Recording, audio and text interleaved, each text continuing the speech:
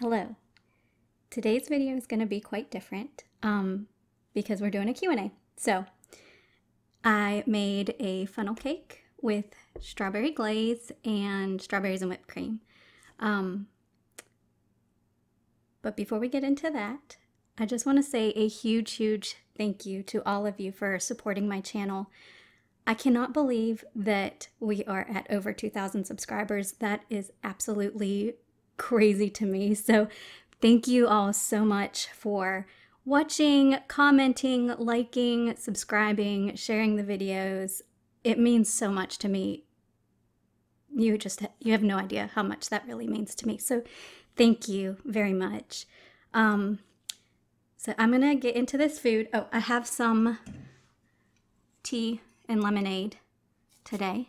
So let me go ahead and pour that and then we'll get into the food and then into the questions.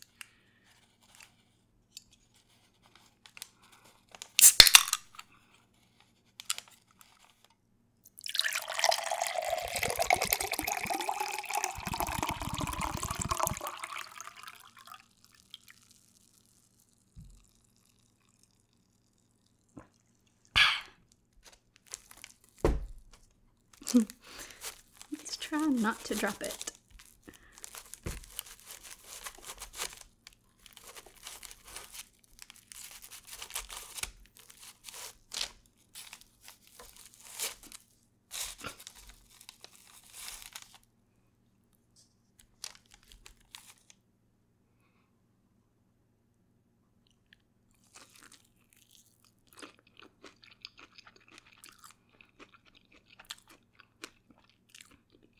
That's really good.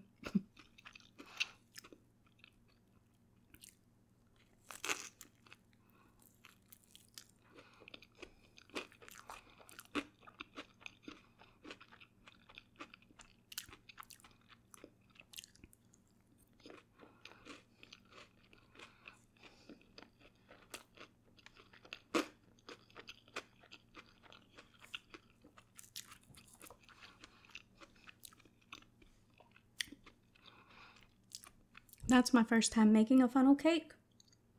That turned out pretty good.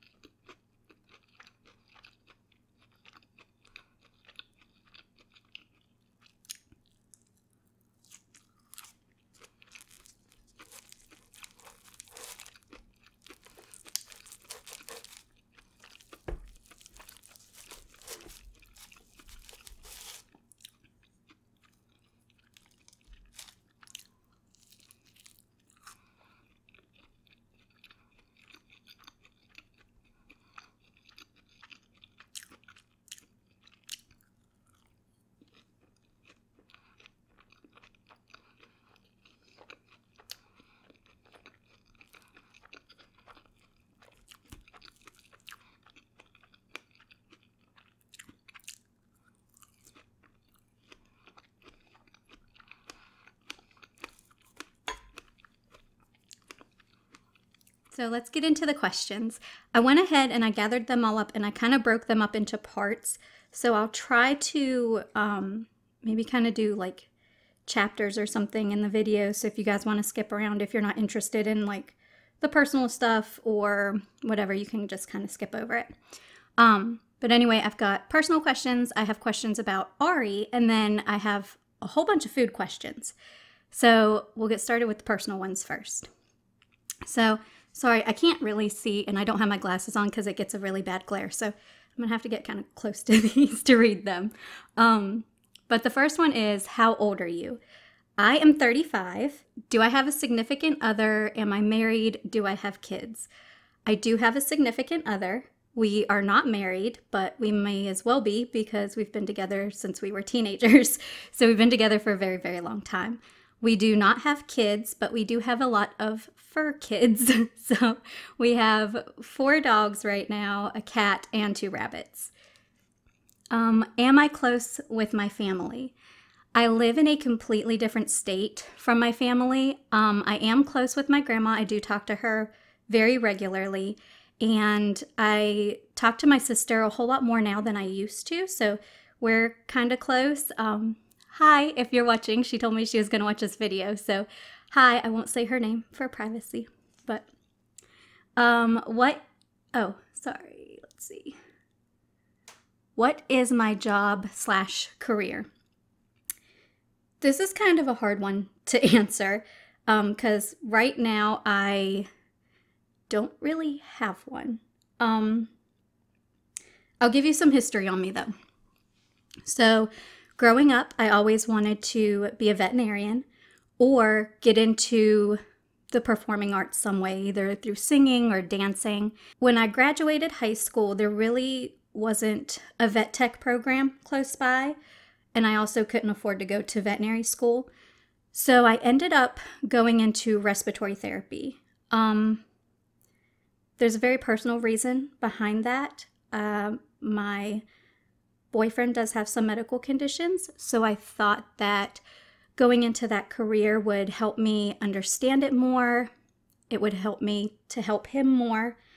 Um, but I quickly realized that that just wasn't for me. Um, I kind of knew in school that I didn't really belong in that field, but I was really worried about disappointing the people that were rooting for me, so I stuck with it. And once I graduated and I started working in a hospital, it wasn't long before it really started to take a toll on my mental health. So I left that career and I started working at an animal shelter. So I got really big into rescue. Um, I absolutely loved it. um, I worked with dogs, cats, puppies, kittens. Um, we had different departments. So I worked in the, I think I started in the cat department or the puppy department. And anyway, I kind of moved all throughout the shelter. I worked in all the departments. I was the coordinator for one of the rescues that we worked with. So I did a whole lot of paperwork, um, making sure all of the animals saw the vet before they left, that they were um, bathed, had their ears cleaned, their nails clipped, were up to date on all their vaccines, um, had all of the health certificates that they needed in order to travel. Uh, it was a lot of work. and then I also spent some time over the volunteer program and also helped build a foster program for the shelter because we really didn't have like a good database of fosters or a good way to track where all of our fosters were. So I went ahead and helped kind of create a program for that. And I did a lot of training with fosters, um, especially with neonatal animals, teaching people how to bottle feed, how to keep them warm, and, you know, keep track of their bathroom habits and all of that stuff. Um, and eventually, I became the medical coordinator for the shelter, which was kind of always my goal because I like medicine. Um, so I got to just kind of make sure everybody was healthy. If they weren't, start them on the protocols that were put in place by our overseeing veterinarian, make sure all of the animals were seen by the vet. Um, I did a lot of the intakes, so when animals would come to the shelter, we would, you know, make sure that they were vaccinated, dewormed, get, you know, as much of a medical evaluation and kind of history and all that we could. Um, and I also did a lot of work with parvo puppies. So when you're working in a shelter, you see a lot of different things. Um, they're not always good. But because of the stress of the shelter and because these animals don't have a great immune system, um, you do end up seeing a lot of parvo. So I worked in the parvo ward a lot, giving sub-Q fluids, um, you know, trying to syringe feed puppies and um, yeah, just doing a lot of rescue stuff. And I also fostered a whole, whole lot of animals as well. And that's actually how I got most of the animals I have right now were all like foster failures. So after I was at the shelter for about, I think it was about six years, I ended up working in a veterinary clinic. Um, and that's what I was doing prior to the pandemic, was working as a veterinary assistant. Uh, so when the pandemic hit, as I kind of mentioned previously, my boyfriend does have some medical conditions that put him in the very high risk category. Um, when you're working with the public so much, you really can't social distance. And when you're holding animals for somebody else to look at, it's a, it's a very big team effort. So you're constantly shoulder to shoulder in each other's faces at all times. And my boss called me one night and was like, hey, you know, we're starting to get cases in our area, and we think it might be best if you don't work around a lot of people in order to keep your loved ones safe, which I completely agreed with. So I kind of found myself out of a job. Um, with that came a lot of feelings. I was used to working 11 to 12 hour shifts, you know, four or five days a week. Um, and now I'm just home all the time. And it kind of felt like, well, what am I supposed to do? So I kind of felt a little bit of depression there. I also felt a lot of guilt because I would see on social media where my coworkers were saying how understaffed they were, they were really overworked. I felt really guilty because I wasn't there helping them. But at the same time, I need to protect my person, and I'm really the only one that can do that. So, yeah, I just, I've, I've been home this whole time. Luckily, we are very, very fortunate that we have family that has been able to help us out um, financially and with getting groceries and things like that so that we don't have to, you know, get exposed or put ourselves at risk, which I understand we are extremely f- fortunate for. I know that there are so many people out there that are probably in similar situations that can't do that. And if you are one of them, I am so sorry. My heart goes out to you. Um, because it's it's really hard. It is really hard, but that's where I am right now. I will say that I did start looking into things that I could do from home, YouTube being one of them.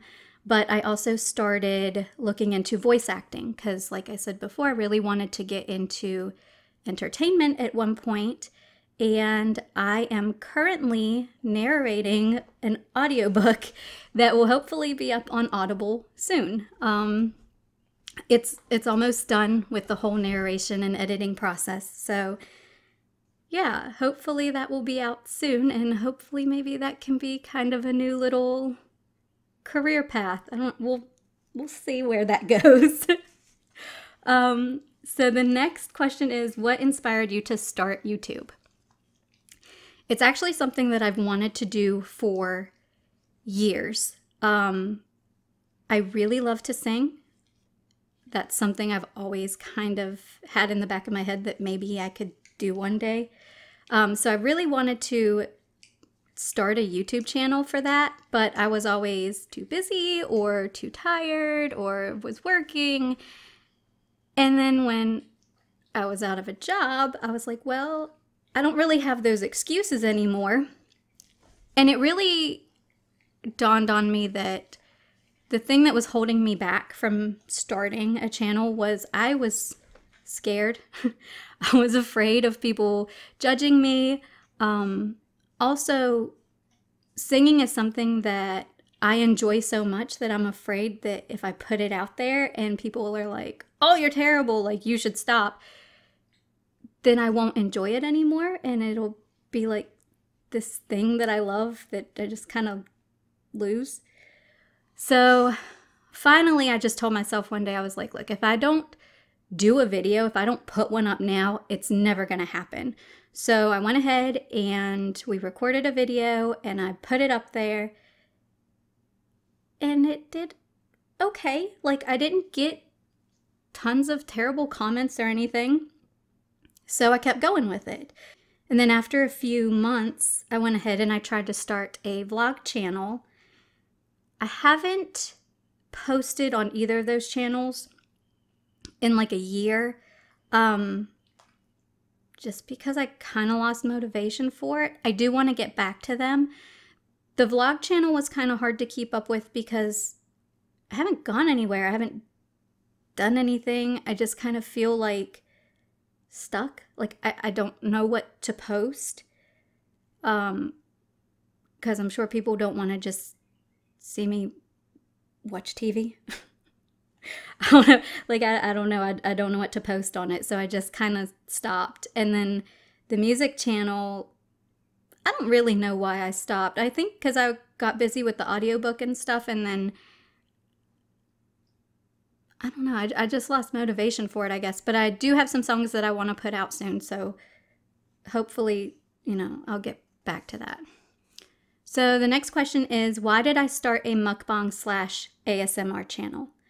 So I've always kind of been into food content. I like watching cooking shows, I like looking up recipes, and I started watching mukbang at, well, I think towards the beginning of the pandemic, I got really big into Stephanie Soo's channel because um, I was kind of into the whole true crime thing anyway.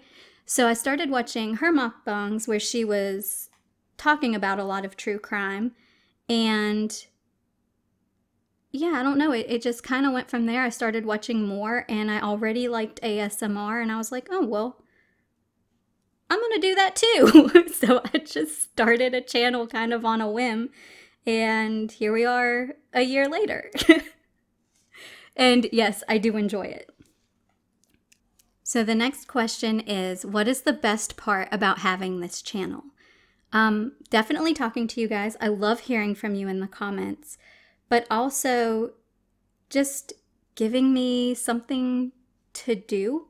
Um, again, it was really weird when I found myself out of a job and I kind of went through a depression of like, well, now what? Um, so having this channel has really given me kind of like a reason to get up and get out of bed and, you know, do something.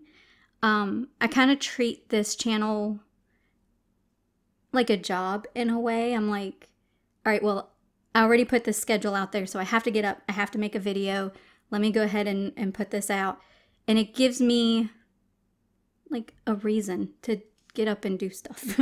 it also gives me a reason to try a bunch of new recipes um, and not just eat frozen pizza all the time. but you know, I've, I've seen a lot of different recipes that I wanted to try, but I, I was just like, eh, whatever. I'm lazy. I don't feel like doing it. But yeah, this channel is like giving me a reason to like try it out and be creative and yeah, it's been fun. I like it. I like trying new things. Like I never would have made a funnel cake before this. Not because I didn't want to, just like I didn't really have a reason to. So yeah. I like that part of it too. so what are my personal goals in the next 5 years? I hope that I'm still doing YouTube. I also hope that I am still doing voice narration. Um, hopefully, I can get a few more projects for that. Um, yeah, I don't know. I'd like to travel at some point. I think that would be cool. If if we can. what is my proudest moment slash achievement? I would say probably buying my house because I didn't know if that was something I would ever be able to do. So, yeah, that's probably my proudest moment. What is your most embarrassing moments? my whole life. um, no, several times I have gotten a bathroom door open on me in public. Um, so that's always a little embarrassing. Um, also, I accidentally sang Salt-N-Pepa's Push It to my boss when I was working at the vet clinic.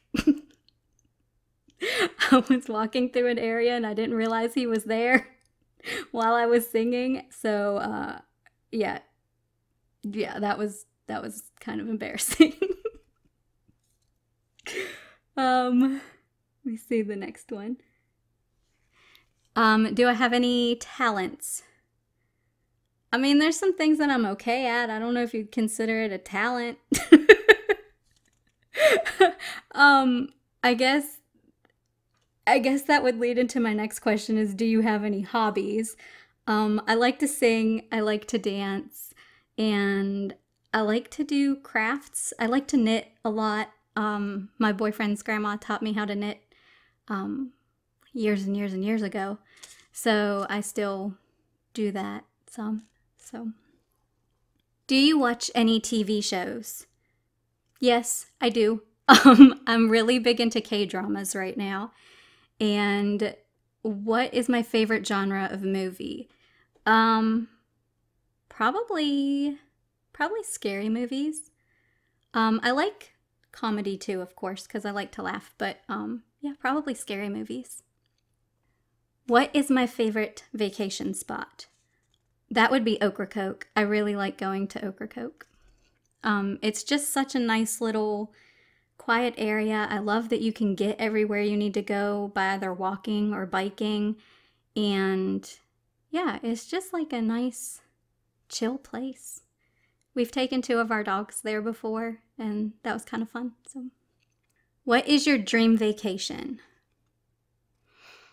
Hmm.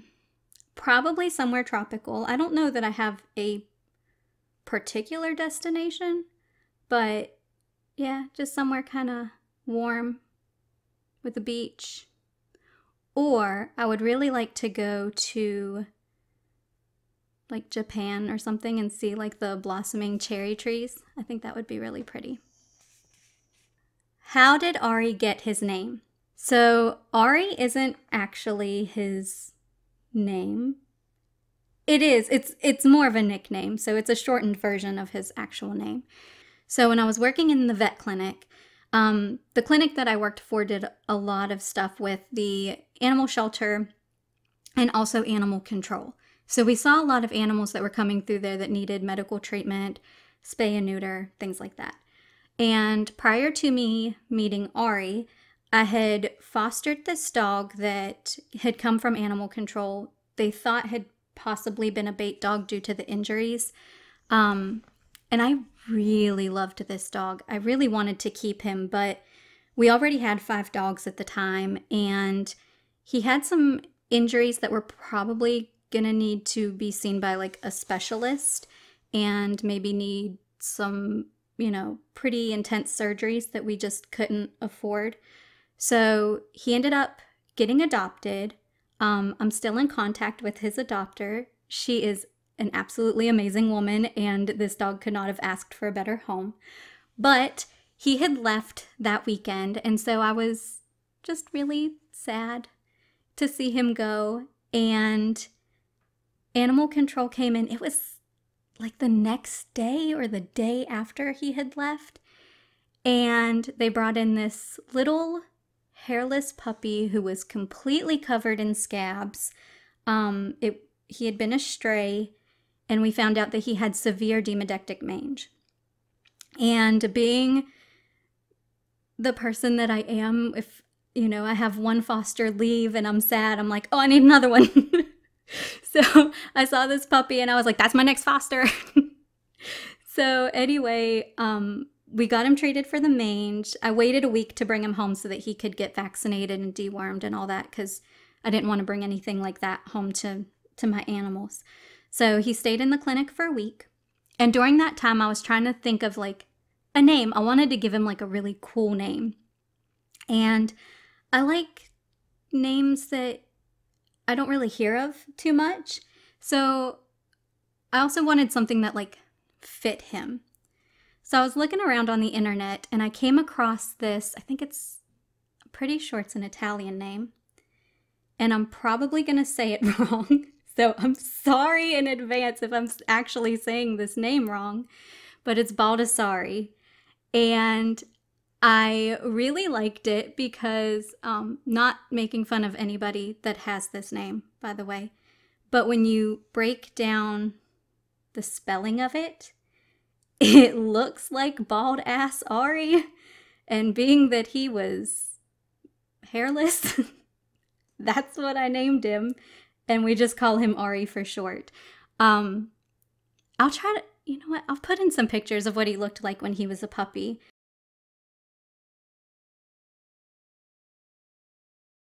Um, but yeah, he his skin cleared up and his hair came back. However, I don't know if it's his genetics or if it's because his skin was so damaged when he was little but his fur is super thin.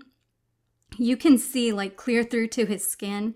Um, his whole belly area, like the insides of his legs, have like no hair on them. And uh, yeah, he's just just my little hairless dog. I gotta make sure that he doesn't stay out in the sun too much because I'm worried he'll, he'll get sunburned. So, yeah. Um, my next question about him was how old is he? He just turned four in February.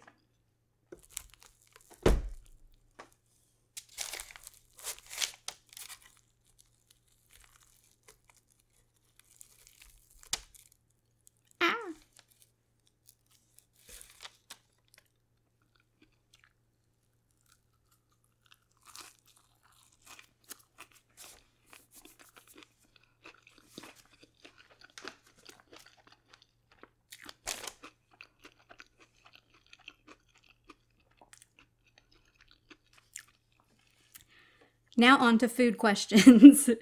um, the first one is, what is my favorite food? Let me eat the strawberry first.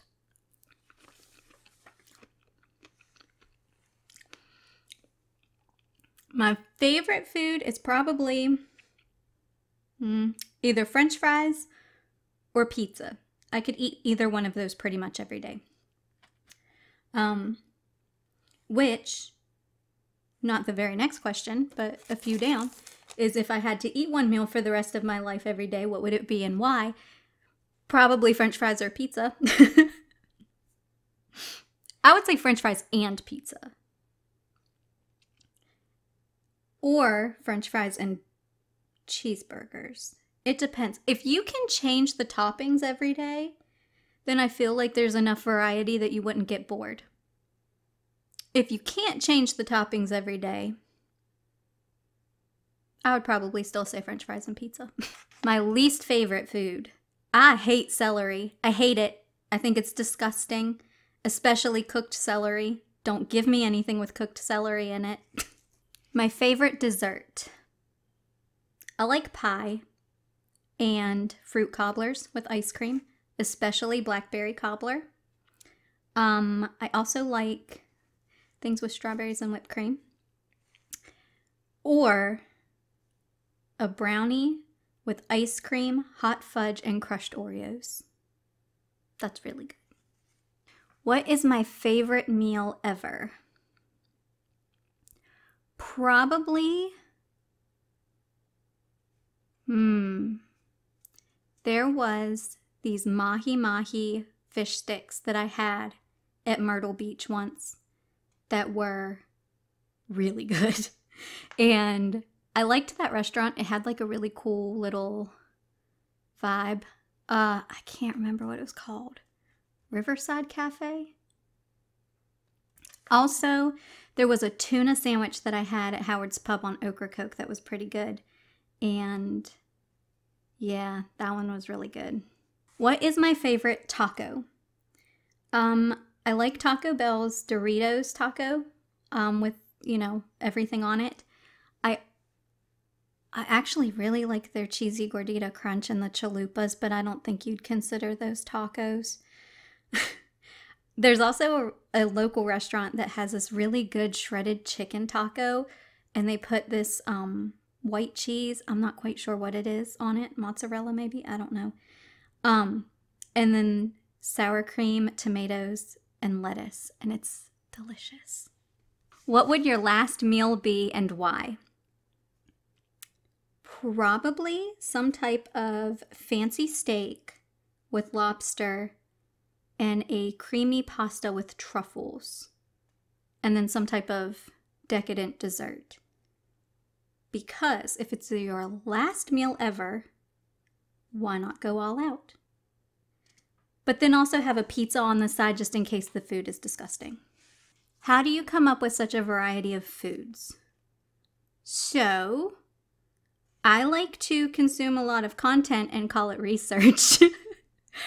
um, I like watching a lot of cooking videos.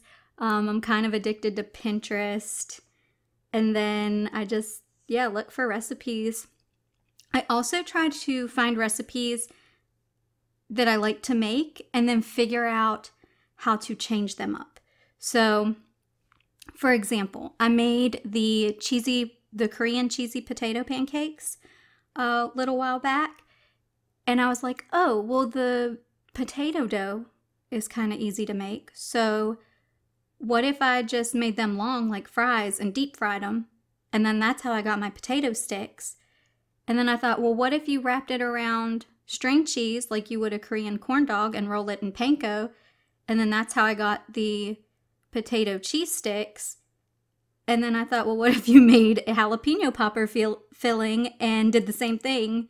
So that's how I also got those little logs that I made a couple videos ago. Um, so yeah, I just sometimes take a recipe and then just kind of play around with it, change up the flavors or the spices or the fillings and yeah, just cooking should be fun. Like you should just, you know, make stuff up. um, strawberry and banana juice or strawberry and pineapple. Mmm, probably strawberry and pineapple. What is one dish you haven't had slash prepared and are looking forward to the most? I would really, really love to try authentic Korean food. I've tried making the spicy rice cakes However, I can't find the actual rice cakes, so I use um, rice paper and just kind of roll it up, which is good, but I also don't have like the fish cake that you would normally put in there. Um, so I'm sure that what I make doesn't compare to the real thing. I also would really like to try like Korean barbecue or Korean fried chicken. I don't trust myself to make it. I know I will mess it up. So, yeah, probably that. Um, I think that is the end of the questions. So, yeah, I hope you guys enjoyed this video. Um, I'm gonna go finish this. I feel weird just kind of eating it after talking so much. So I'm gonna go. Um, thank you guys for watching. Thank you so much for supporting my channel. Um, I hope you enjoyed this video.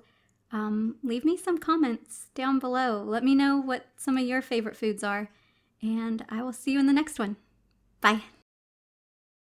Oh, this is so weird. It's so awkward. Hello. Just say hello. Hello. Hello. Hello, Ari.